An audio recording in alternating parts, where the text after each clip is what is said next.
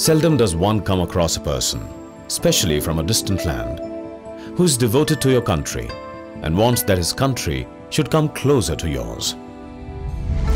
Saichiro Misumi, who entered into his 100th year on 16th June 2015, can easily be called an architect of India-Japan relations, as he spent 70 years of his precious life in promoting the bilateral ties. As JIA office bearer, Mr. Misumi considered himself fortunate to have not only met Indian leaders like Pandit Jawaharlal Nehru, Indira Gandhi, Atal Bihari Vajpayee, K.R. Narayanan and I.K. Gujral, but also for having personally known Indian freedom struggle hero Netaji Subhash Chandra Bose. Acknowledging the yeoman services of this great lover of India, the Indian government conferred the Padma Bhushan on Mr. Misumi on 30th March 2015 for promoting ties between Japan, the land of the rising sun, and India, the land of sunshine. Indeed, for Mr. Misumi, it was a special moment when he received the award from President Pranab Mukherjee. Though his health did not permit him to travel, he made special efforts at the age of 99 to come to India and receive the award from the President. The Indian government was pleased to give him all the special attention in taking care to ensure that he does not face any difficulty during his stay in Delhi. No matter if Mr. Misumi had to undergo dialysis as part of his health routine or any other special care, he was prepared to face all the hardships. For him, receiving the award from the Indian president was the ultimate, the event which he had never dreamt of himself.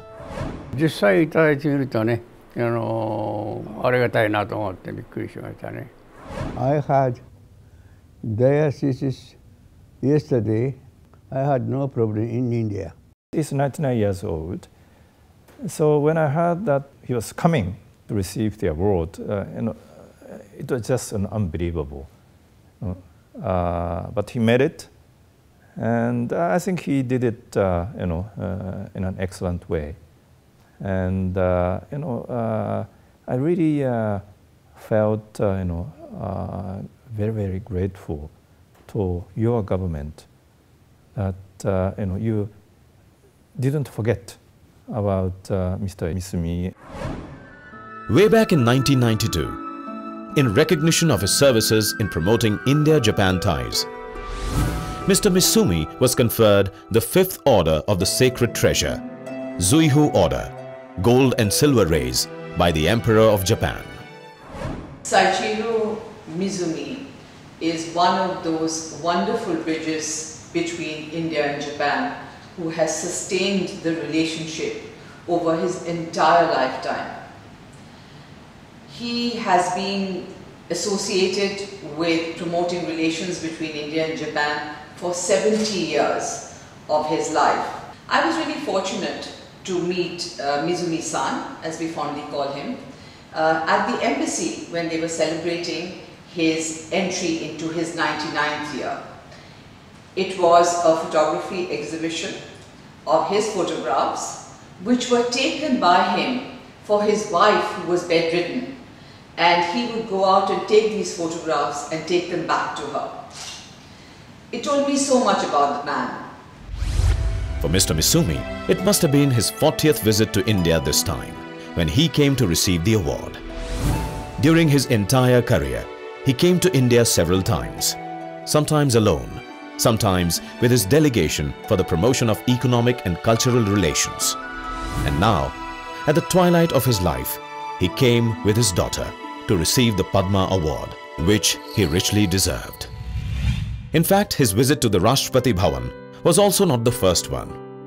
Earlier, he had come in 1992 to meet the then President Shankar Dayal Sharma to commemorate the 40th anniversary of India-Japan Peace Treaty. He remembered giving sakura or cherry blossom seedlings to the President at that time.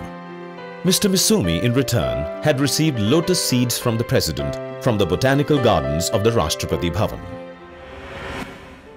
Mr. Misumi joined the Japan-India Association as secretary in 1937, soon after his graduation from Aoyama Gakuin University. Since then, there has been no looking back. He remained associated with the JIA till 2007, when he stepped down as office bearer.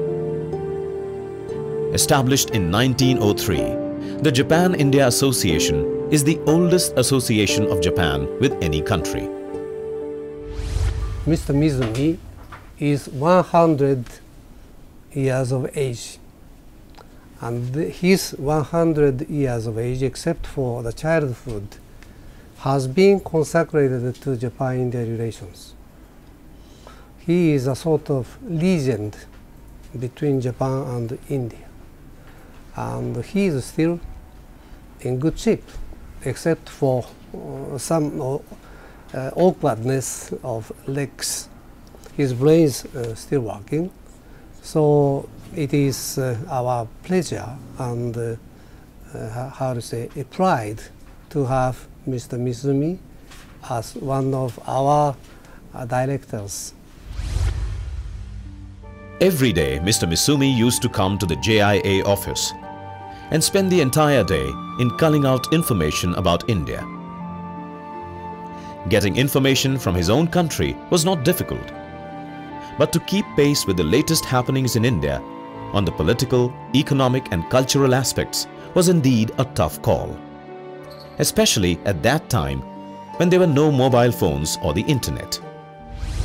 Those days when there was nothing called an internet, getting information from India about what is happening in India is something which is very, very difficult. So, he used to contact and say, yes, I want to put in my newsletter, Indo-Japan Association newsletter about India because it is IJA, it is but relevant to have only Indian and Japanese news. Japanese news you would collect it in being in Japan, but he has to source the Indian information. How would he get Indian information about culture, economic, whatever it is? So, that is when we came across a great man like Mr. Misumi. Mr. Misumi ran the show all by himself at the JIA, bringing out the newsletters month after month that kept the people in both the countries familiar with the day-to-day happenings. I was with the Consul General of Japan in Chennai from 1970. I found him a very warm personality from first visit itself very friendly, very helpful, very affectionate, especially by, I was just younger to him and he uh, offered me all help in building a similar, similar association in Chennai. By the sweat of his brow, Mr. Misumi tirelessly worked to build the edifice of India-Japan relations. Second World War broke out soon after Mr. Misumi joined the JIA. As the Great War drew to a close, the JIA was banned by the occupation army, as it had cooperated with the Indian independence movement. Not deterred by the adverse turn of events, Mr. Misumi turned the challenge into an opportunity. He started the India-Japan Economic Promotion Committee. As its executive director, he worked to promote ties with India which went on to achieve her independence in 1947. Following the signing of the peace treaty between India and Japan in 1952, the JIA regained its original name and Mr. Misumi became its managing director. After the Second World War, when Japan was devastated, Mr. Misumi was instrumental in arranging iron ore from India for reconstruction work in Japan. In the initial years of his association with JIA, Mr. Misumi was responsible for coordinating with Japanese companies and also for compilation and publication of Business Directory and the JIA newsletter. In addition to promoting person-to-person -person interactions, Mr. Misumi made painstaking efforts to publish a catalogue every year, introducing to India the various products of Japan. Spending a lifetime on cementing the India-Japan relations, Mr. Misumi was in for a pleasant surprise. when one day he found Prime Minister Narendra Modi, about whom he had heard so much, in front of him at an official function. The function was hosted in honor of Prime Minister Modi by the JIA and Japan-India Parliamentary Friendship League. Prime Minister Modi leaned on him and talked to Mr. Misumi, and he too sat silently watching closely. Mr. Misumi recalls that the warmth of that meeting with Mr. Modi reminded him of the warmth with Subhash Chandra Bose, whom he had hugged so close that they could hear each other's heartbeat.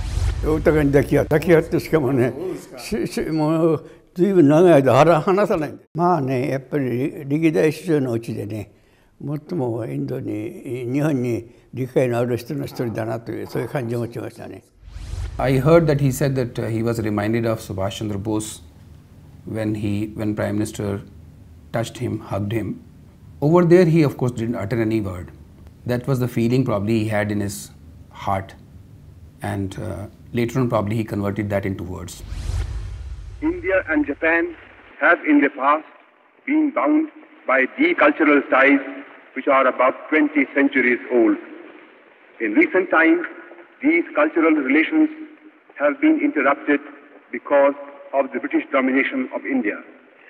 It is, however, certain that when India is free, these relations will be revived.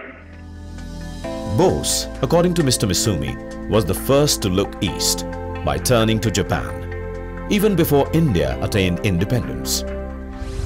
Subhash Chandra Bose worked very hard for India. Prime Minister Modi is also working very hard. Both uh, have look east policy. It was Mr. Misumi who was instrumental in persuading the Japanese government to invite Bose to Japan. だからボースさんだけはねああの非常にえーインドで影響力のある大政治家だからどうしても日本にもっと理解してもらわなきゃいけないから地理的にもねベンガルの人は大体があのインド人の中では日本に理解のある人が多いんですよ。そういう意味でボスさんにはぜひその先頭に立ってねもっと日本を理解してもらって、うん特別に扱いじゃなくてもアジアの中ではやっぱり日本とインドが一番親しくしなくちゃならない国だということをねご自身もおっしゃってましたけど。A revolutionary by nature, Bose, who was elected Congress president, was disenchanted and resigned from the post, preferring to explore a military response to free India from the British colonial yoke. From his house in Kolkata, his close aide, Shishir Bose, drove the car to take Bose out of India. Finally, he reached Germany, where he mingled with Nazi top brass. In Berlin, he met Adolf Hitler He used the German-sponsored Azad Hind radio and started Free India Center in Berlin. Following the arrival of Bose in Japan in 1943, Mr. Misumi came in touch with him. In Tokyo, Bose stayed in a room on the third floor of the Imperial Hotel's South Wing, facing the Hibiya Park. いやいやチャンドラボーさんはね帝国ホテルの3階の部屋に ずっとおられたんですよ。ホテルですかはい、でそこへ私が訪ねて行ってね2人で一緒に日比谷公園を散歩しましてねで何回何回も何回もやりました。 Bose appeared before the eyes of the Japanese people when he gave a lecture at Hibiya Hall, which was organized by Mr. Misumi. As Supreme Commander of the INA and as head of the Provisional Government of Free India, Bose proceeded to Myanmar on 7 January 1944, which was to act as the springboard for the army operations in India. Yangon has the mausoleum of the last Mughal Emperor of India, Bahadur Shah Zafar, who led the first Indian War of Independence in 1857. It was from this land again that Subhash Chandra Bose gave the fiery call on 4th July 1944. Give me blood and I promise you freedom. He is very, very good commander of Indian National Armies. When the armies advance against the British soldiers, he always stand at the front line. He is very brave soldier. Mr. Misumi, who was the chief researcher at the Secretariat, was sent to Burma several times to conduct research there, as it was also under the British Empire. Mr. Misumi travelled on foot to Burma several times. だからビルマ全土を自分の足で歩いてね On 18th August 1945, Bose died in a plane crash. His mortal remains were brought to Renkoji Temple in Tokyo and preserved there. Netaji's liaison officer, Mr. Negishi, a Japanese, always accompanied him. Before the war, uh, my father was working, worked in India for uh, Mitsubishi Corporation. Mr. Sender, who, who, who, recommended my father as a liaison officer of uh, Netaji. And uh, after that, so when Netaji came by, by submarine to Sabang Island, that time my father waited for him. That, that was his first time uh, met Netaji. And after that, my father followed with Netaji. My father followed him to Saigon. And that was the last time my father met to uh, Netaji. So after that, Netaji uh, flight to Taiwan and he met the, the accident. Although there are skeptics, this shrine has been visited by all leaders like India's first Prime Minister Pandit Jawaharlal Nehru, President Rajendra Prasad, and the then Prime Minister Atal Bihari Vajpayee in 2001.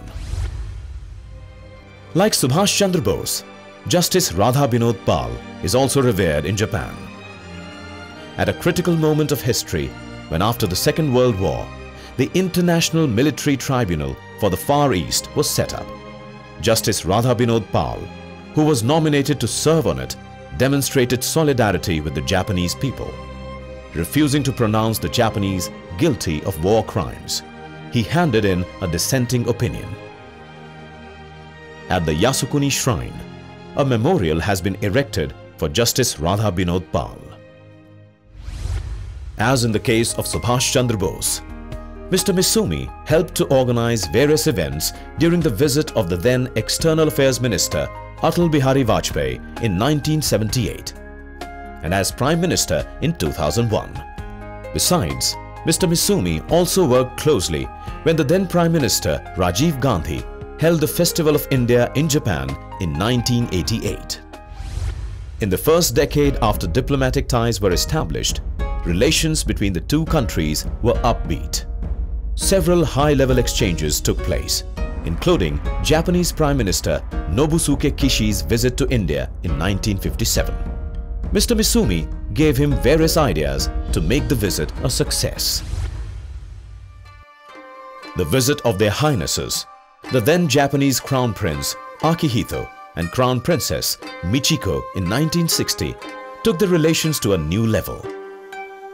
President Rajendra Prasad, Vice President Dr. S. Radhakrishnan and Prime Minister Pandit Jawaharlal Nehru personally received the high-ranking dignitaries on their arrival. After a gap of 50 years, they visited India again in 2013 and were equally at home, choosing to take a stroll in the Lodhi Gardens in the capital. The turn of the 21st century witnessed a dramatic transformation in bilateral ties as it was during the path-breaking visit of Japanese Prime Minister Yoshiro Mori in 2000 that the Japan-India Global Partnership was launched. Since then, there has been no looking back. インドっていうのは非常に 複雑で広くて、えちょっとあの付き合ったぐらいじゃなかなか全全貌わからない国だけどね。だからそれをもう少し深いところまでね理解し合ってするともっともっとねあのお互いにプラスがある。インドと日本はあの付き合うことによってねお互いにプラスが増す国でねマイナスは決してない。When Indian Prime Minister Narendra Modi visited Japan in September 2014, the relationship was upgraded to special strategic and global partnership, providing the much needed impetus for the trajectory of relations to soar to new heights. Abe and Modi decided to add one important word to our relationship. Up to that time, up to September last year, our relationship was dubbed strategic and global partnership. He decided, Mr. Modi decided to add special and he explained why special. Because our two countries are linked, bonded with spiritual bondage. That is uh, uh, different from other two bilateral uh, relations. India and Japan share a special spiritual bond through Buddhism that dates back to 736 AD. The Indian Buddhist monk Bodhisena arrived in Japan to spread Buddhism. One of the famous Japanese travelers to India was Tenjiku Tokubei, who was named after Tenjiku, the Japanese word for India, which means heavenly abode. Nalanda, the ancient seat of learning, had scholars and pupils from Japan. Bodh Gaya is a major pilgrim center for the Japanese. Interestingly, Hindu deities are worshipped in Japan, though under different names. Hindu deities like Saraswati, the goddess of learning, is worshipped in Japan as Benzai Ten. Lakshmi is worshipped as Kichijo Ten. And Yama, the lord of death, is known as Enma. Kuber is worshipped as Bishamon Ten. These form part of the traditional Japanese Buddhist pantheon. Significantly, Mr. Misumi was greatly impressed by the Bhagavad Gita. Speaking about his attachment for the Bhagavad Gita, he remarked that he learnt a lot from the book and made use of the knowledge obtained from it in his life. インドをやる者はみんなねギターをまずよく学んでその気持ちが分かってからあの日本とインドの関係をねもう一遍考え直そうじゃないかということで。As political relations between the two countries have been warm all along, Japanese companies like Sony, Toyota and Honda have launched manufacturing facilities in India. The largest Delhi metro network was facilitated by Japanese assistance, which helped to conceptualize and execute the prestigious project. Mr. Misumi not only helped in introducing Japanese products to India, but also contributed in bringing Japanese music and dance to India. He personally led cultural troupes to India. Besides, he visited the Kalakshetra in Chennai.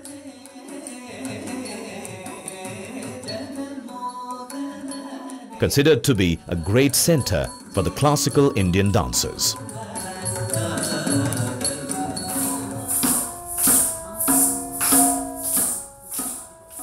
It is due to Mr. Misumi's efforts that in Japan, people are not only familiar with Indian classical dances, but are also learning it.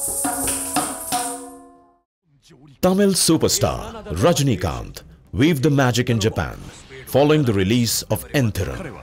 Rajnikanth has become a household name, especially since his earlier super hit in Japan, Muthu. It is not only music and culture, but even the Indian cuisine is relished by the people of Japan. Rash Bihari Bose, the great Indian revolutionary associated with Netaji Subhash Chandra Bose, who spent 30 years in Japan, started an Indian restaurant in Tokyo.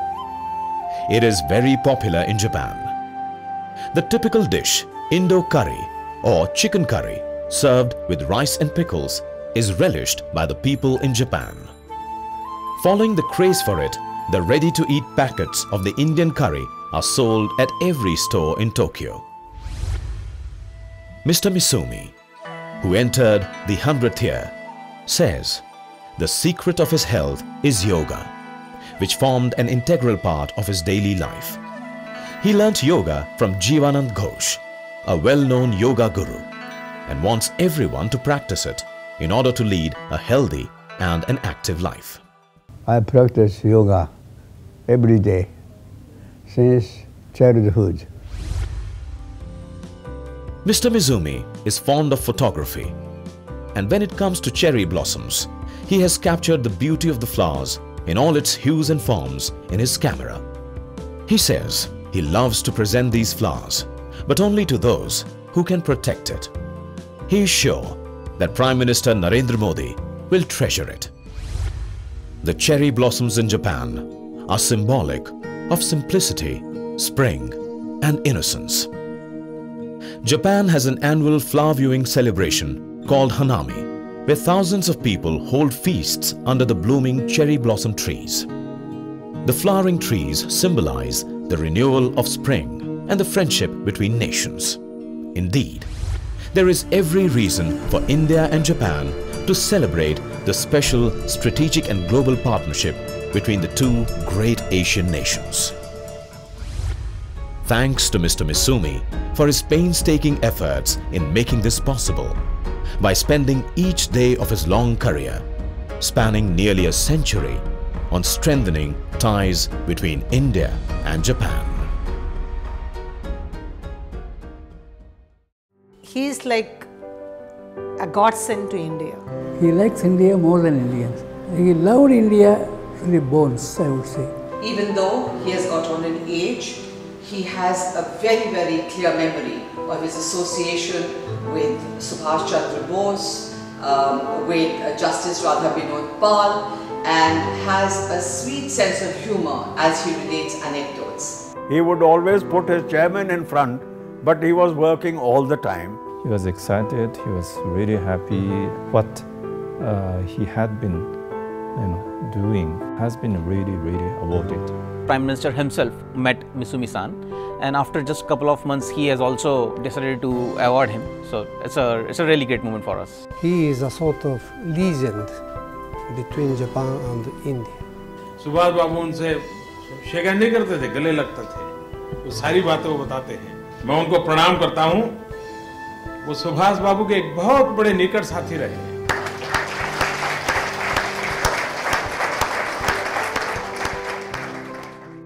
India understands Japan better now. Japan understands India better now. But this is just a beginning.